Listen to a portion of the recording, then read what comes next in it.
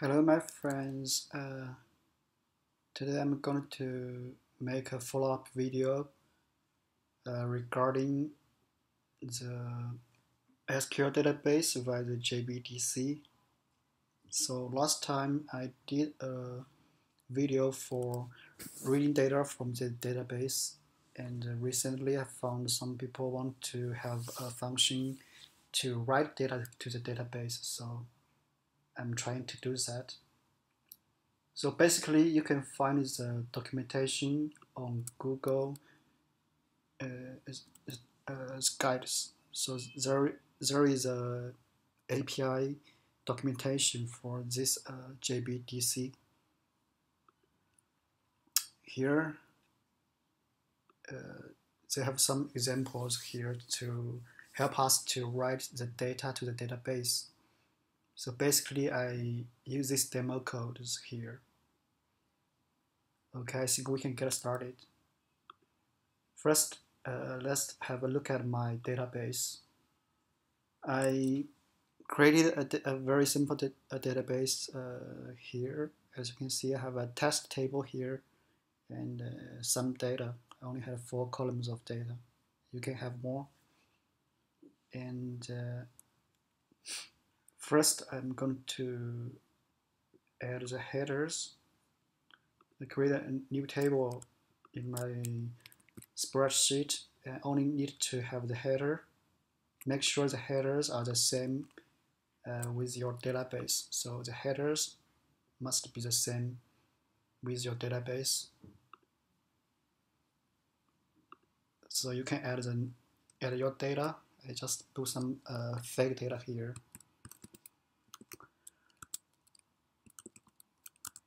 Email address. Uh, department IT, something like that. Uh, another Nemo one, uh, I think it's a cat. Uh, IT. Okay, so we got the data, uh, our uh, data set set ready. I'm going to add one more function. Go to the script editor. Okay, here I have the function to read, read the data from the table and I want to add a new one so I'm going to add item. Uh, this one I'm going to rename it to read uh, read data from table this one write data to table. Function name I'm going to copy paste. Uh, write write. Write to table. This function is not defined yet. So next step we're going to define this function I'm going to create a new file so write data Okay, so we got this new file. Uh, I don't want to uh, to rewrite this code because I already tested the code. So I'm I'm going to copy copy my code here already. I tested all this code. I was going to ex explain all this stuff to you.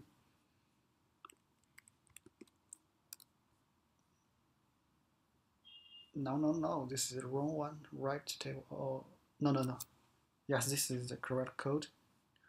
So, okay, but I'm going to explain this code to you line by line, okay?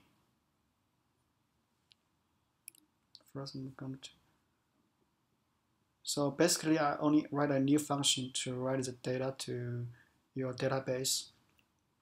So here, basically, uh, get the get your your credential information, your host, your user your username and the password like that from the details sheet here. Okay, your database name, username, password, and port number and table name. All of this and uh, build the URL with all this information in this host port and uh, this SQL uh, this SQL is is not uh, needed anymore because this is for read data from the the table. Here I'm going to delete that. And uh, so basically we got the URL this URL is, is used to get a connection here. As you can see here I'm gonna get a connection to your database. So once you get this ready and you need to retrieve the data from your your Google Sheet. So data I get a, I have another function to get the data from your Google Sheet here the import data. So this function will get the data from this sheet let me. Show you the get data function. So this get data function will do two things for us. First it will uh, the very important thing here is it will uh, provide us a string like this. So all this information in the header this is very important. You will see you will see it later. So get the first name last name email department and the values with question marks here. So basically I got the the header here in in the row 1 so the data data 0 is row 1 so I'm going to join uh, these headers to a string like this. And a header string and uh, put the question marks here. So if I run this function, uh, let me save this first. If I run this function, uh, because I have a log here, you will see the result. Okay. Check the log. Check the log. Hmm. Okay as you can see, here's a header string uh, with the headers here and the values. And if you if you have four header headers, and you have to have four question marks. If you have more columns there, you will you are gonna uh, get a more uh, question marks and headers there. So, and uh, it's going to return the data we, we are going to we are need to write to the database. So we have two lines uh, this is one and this is second. Okay, so we basically get the data we need and return this data as a as array. So okay, so I will here I will get this header string in the array uh, position two, right? So and the data in position one. Okay. So next, uh, we are going to get the connection with the URL, a password, uh, your username password. So, so all this and here, the code from I think it's from the Google's documentation. So here, as you can see, it said it's auto commit to false. I don't know why because I'm a, a newbie to this uh, JDBC stuff and uh, here because he, uh, he here is example he wants to to write 500 rows so here he has a loop here uh, to iterate the 500 times so here uh, basically I just uh, rewrite this code because I all the all the data we have is in in this sheet and I just get the data from with this function, the get data function. So all the data I put it in in this uh, variables data. So I'm going to loop through this data row by row. So for row in this data, and uh, for each columns in in the single row, I will need to set a string.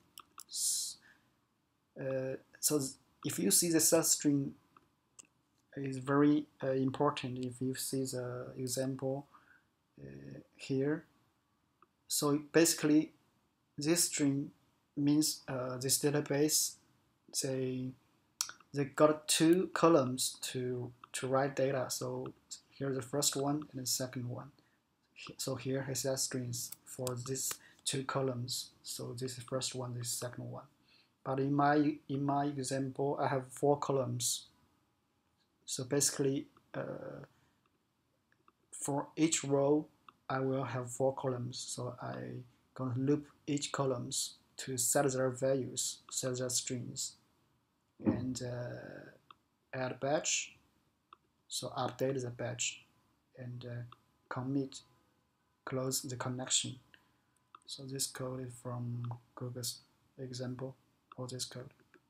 Okay, so all after that, if, if there is nothing wrong, I will get my data uploaded to your database. So let me so let us try this code. Save it. I'm going to rename my project. My SQL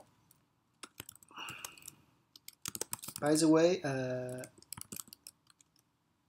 uh, this function is only it, it only works for MySQL. For MS SQL, it doesn't work. I don't know why. Uh, I just ha didn't have a chance to test it because I don't have a, a free database, uh, a free MS SQL database.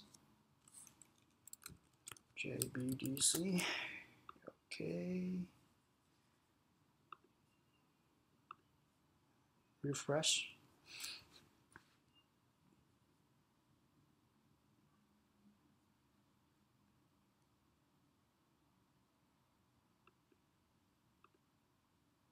So I'm going to try to retrieve the data first. Uh, read the data. So it works, and I'm going to I'm going to import these two uh, two items to our database. Let's try this. So read data from table.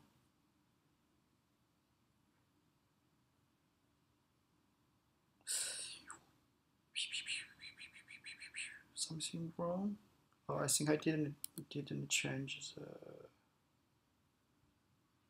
something wrong, something wrong, something wrong. Right to table, right to table.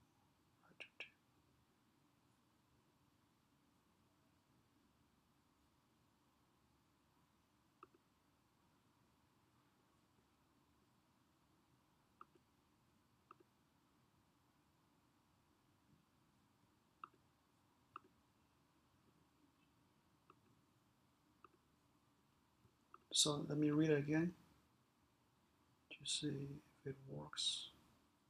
No, something wrong. Close this one. Close Maui.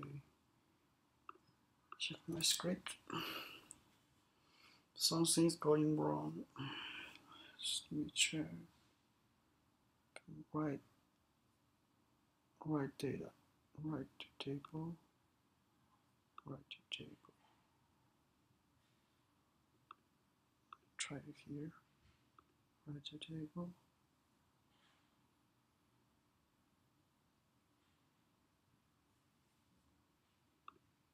Okay. Zero. Let me see the log. Two rows.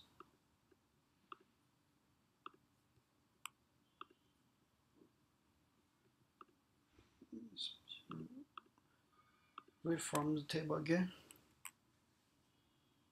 Okay, so as you can see here, I got two new lines uh, because I just write this data to table from this import data and I, I, I read all the data from the table again, so you get new lines. If I try to add some new stuff here, uh, something, hello, Hi. Is this a name? I don't think so. It's my family name. Family name. One, two, three. Gmail two two three Gmail none none okay let me try so write data to table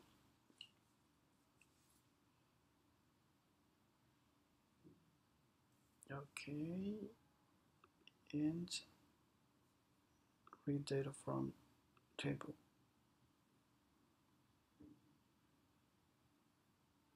Okay so it gets, gets lines here.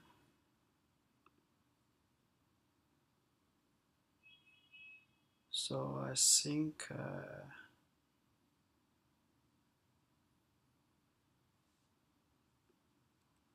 that's all I want to show you today regarding this uh, this topic.